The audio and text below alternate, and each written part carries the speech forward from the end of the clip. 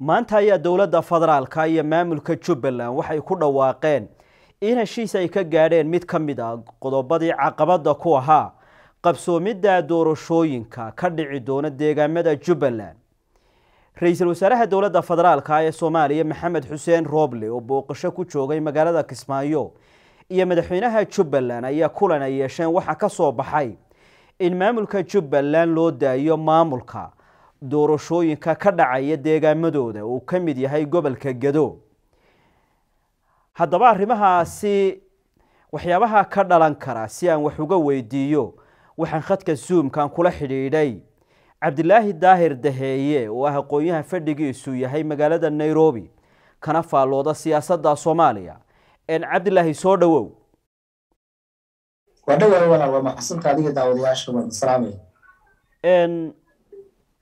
arrintani sidee bay u fuli karaysaa? Maadaama labada dhinac ay hore aada u kala taganaayeen oo kalsooni darro badan ay jirtay waa dowladda dhexe iyo maamulka jubbaland. Si doorashooyin madax bannaan oo xor iyo xalaali ay u dhacaan. Maxamedow waa su'aal wanaagsan.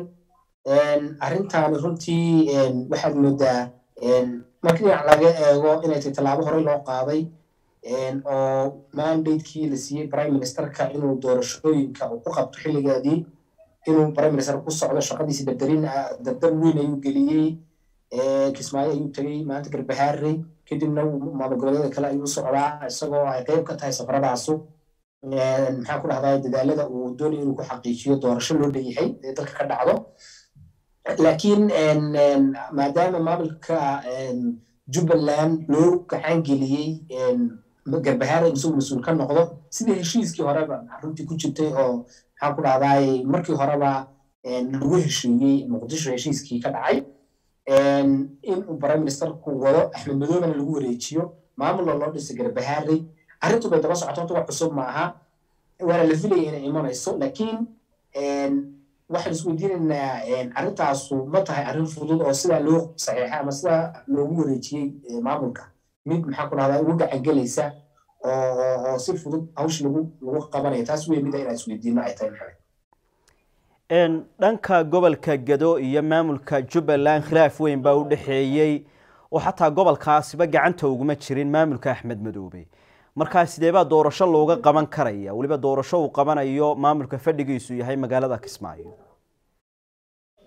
horta dowladda federaalka waxaa prime ministerka prime minister roble ayaa uga wakiil ah dowladda federaalka ah doorasho arrimaha doorashada.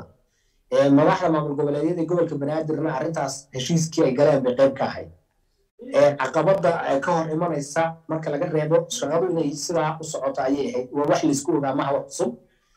Laakiin maalmaha waxaa soo baxaya khilaafaad u dhexeeya jaanibka madaxweynaha federaalka ee maxamed cabdilaahi farmaajo iyo maamulka jubbaland ee axmed madow garwadeen ka yahay.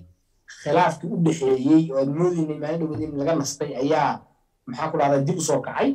Toddobaadkan waxaynu arkaynay in laga celiyey xubno labada dhinac ka kala socda laga kala celiyey magaalooyinka kismaayo garbahaarey oo diyaarada siday dib loo celiyey. Taas waxay dib u kicisay xiisada u dhaxaysa madaxweyne farmaajo oo baag ku haya dhabarka ku haya maxaa ku dhahda magaalada gobolka gedo iyo garbahaareyba iyo dhinaca kale axmed madoobe oo runtii iska ilaalinaya madaxweyne farmaajo. Xaggiisa waxaa ka socda inay gobolkii ka ololeystaan marka labada beri korba hawshu u soo kacday xiisadu inta ay gaarsiin intay gaarsiinaan doonto runtii lama garan karo.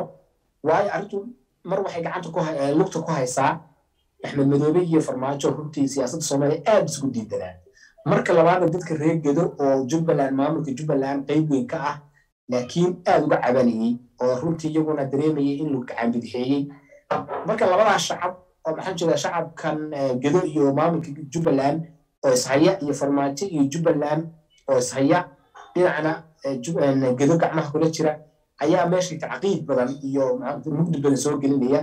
Marka waxay u muuqataa inay waktigii loogu talagalay doorashada kaga dhacdo gobolka gedo inay dib uga dhacayso waayo arrimo fara badan baa u baahan in la xaaliyo dib heshiisiin laga sameeyo gedo iyo maarata axmed madoobe dhexdooda la dhigo.